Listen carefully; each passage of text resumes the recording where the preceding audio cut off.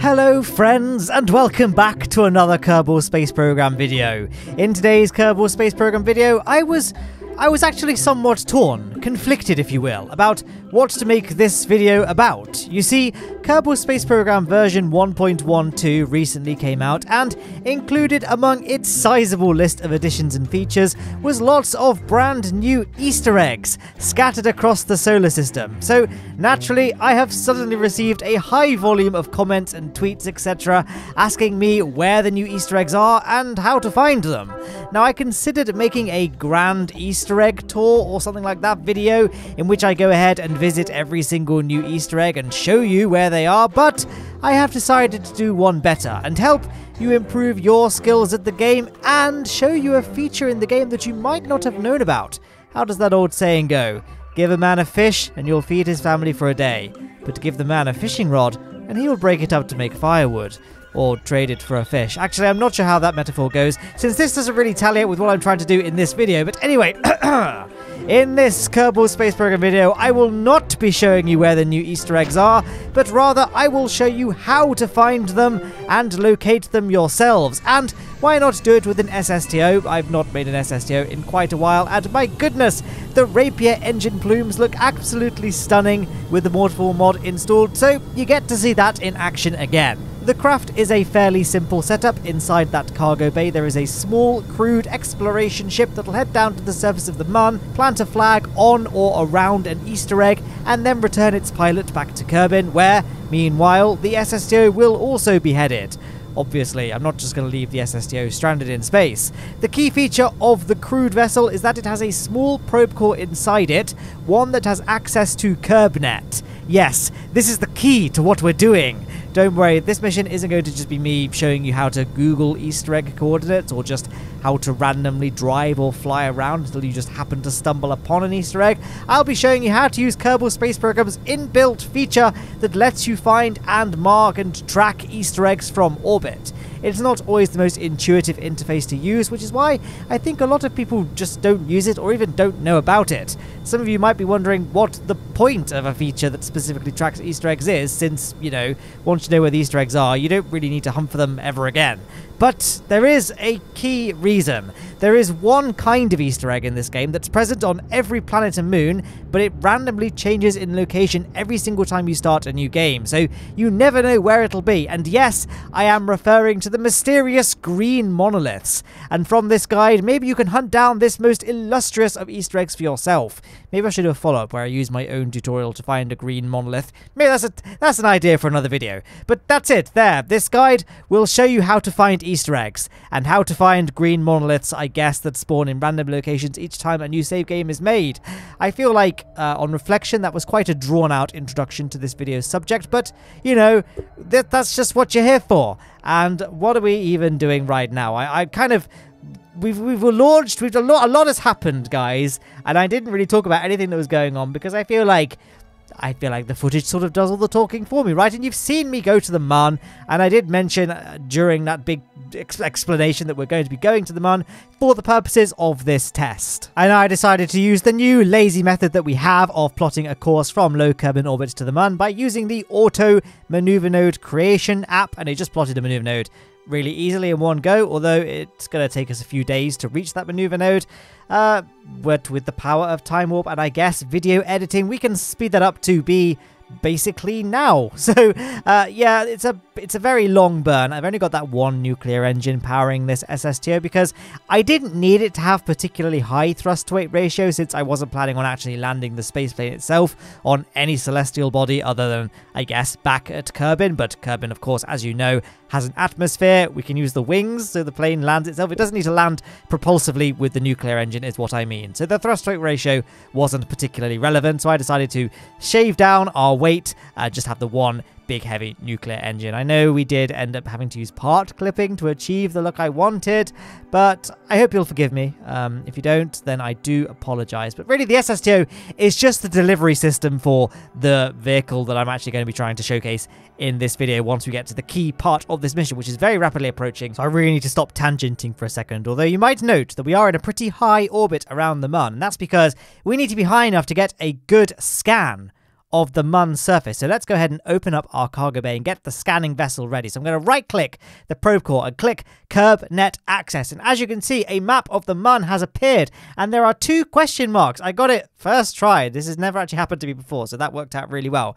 But those question marks are Easter eggs. We've detected them, so we can just get that little reticule over the question mark and set waypoint. And then if we hit M and open up the map screen, um, I, I really thought the footage was going to do that. There we go. Well, I just crossfade it. Uh, you can see that those waypoints are now set on the map screen and we can see where those Easter eggs are. We haven't got to just continually refresh that map screen.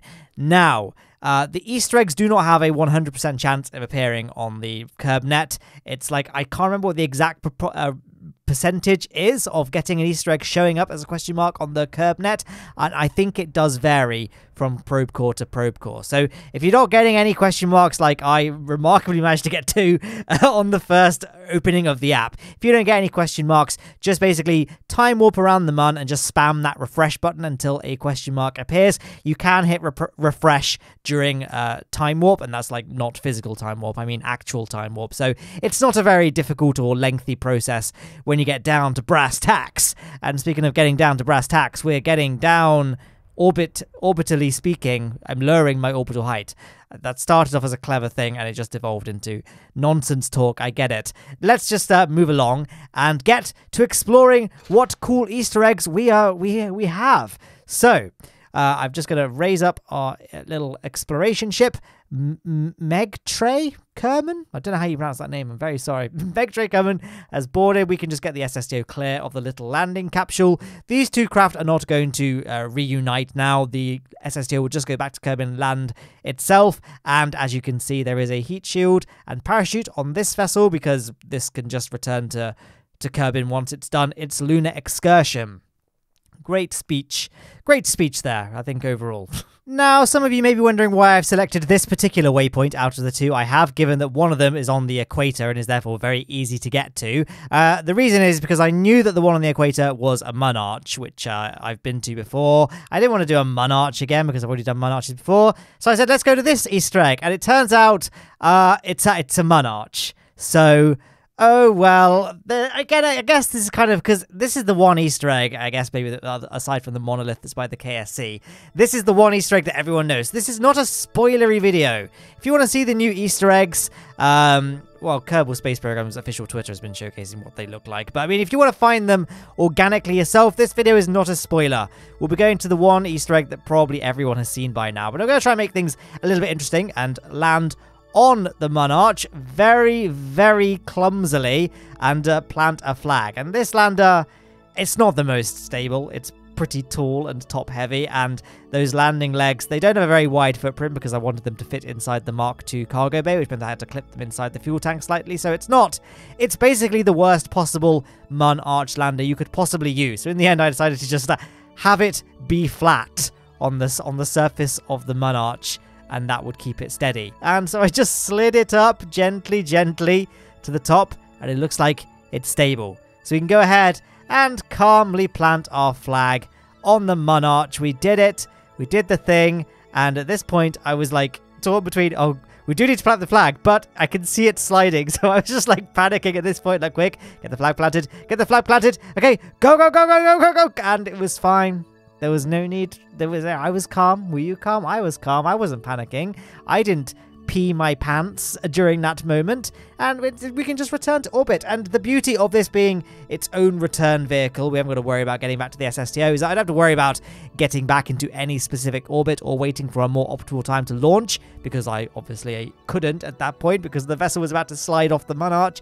Uh, we can just go ahead and get back to Kerbin. So this part of the video, I'm going to play back the footage fairly quickly because, I mean, who hasn't seen a, you know, capsule return from Mun orbit to Kerbin at this point. Uh, I'm guessing everyone watching this it has because you're watching a Kerbal Space Program video, a tutorial, if you will. I mean, uh, could you describe this as a tutorial? I feel like I feel like as my as far as my commentaries go, this is one of the more uh, understandable ones and less just complete mess commentary. Sometimes I, I watch a video back and I'm like, wow, I feel like I spent a good 45 minutes in that video and I managed to just say absolutely nothing of relevance. I feel like I've been a bit more on topic. I'll tell you why, guys. It's because the heat wave in England has temporarily uh, subsided, and usually uh, when when there's a heat wave, my office just gets to absolutely boiling temperatures, and I can barely concentrate. I just get really fogged up, and it's really hard to concentrate on what I'm doing.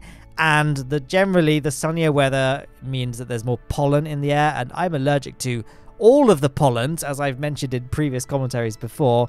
So I got the seasonal allergies kicking in, I got the the heat stroke kicking in, and it's just it's just a mess. It's just not a good time. But today there was rain, washed away all the pollen. The rain lowered the temperature, and now it's nice and cloudy outside. So it, I'm at a, I'm actually at a, a more mentally elevate, elevated state, I say, slurring my words apparently just then. My cognitive abilities are at a functional level.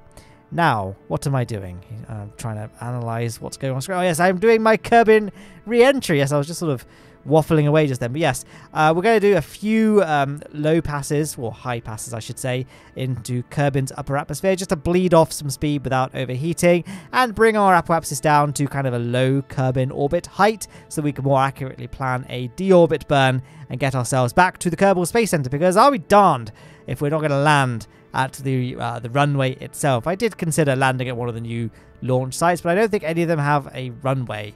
I mean, there's the desert launch site, there's the island runway, and there's the Kerbal Space Center. And I thought, well, I have those three Kerbal Space Center. You know, we launched from there. It's, it's nice to like launch and land from the same spot. We are coming in very inclined though, hence why I'm trying to point sort of more normally, as in like the, the, the vector normal, not as in like I'm pointing in a more everyday direction, if that makes sense. Didn't go so well, though. I did end up spinning out of control a few times. I'm just keeping an eye on my apoapsis height. You can see it on the top left.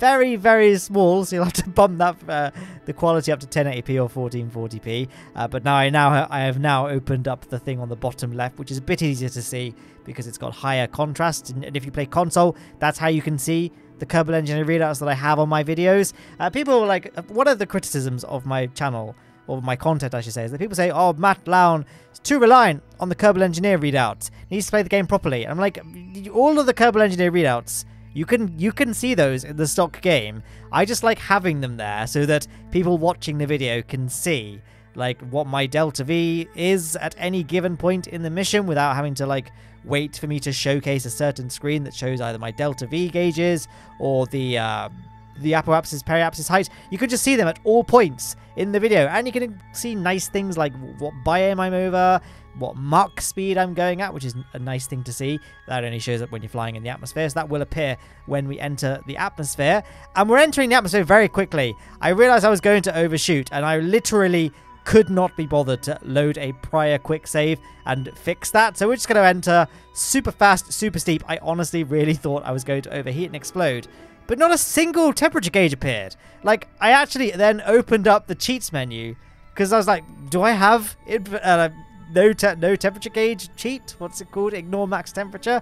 Is that enabled? I don't remember enabling it. And no, it wasn't enabled. And my re-entry heat settings are all normal. So I'm not quite sure how I got away with that one. I mean, I should have just reloaded the quick save and done it properly, but whatever. I really couldn't be bothered. Um, the heat wave was still very much going when I recorded this video. I recorded this video a couple of days ago, and I'm now sitting down and recording the commentary, and I was just like, oh, I just gotta get this done. I need water.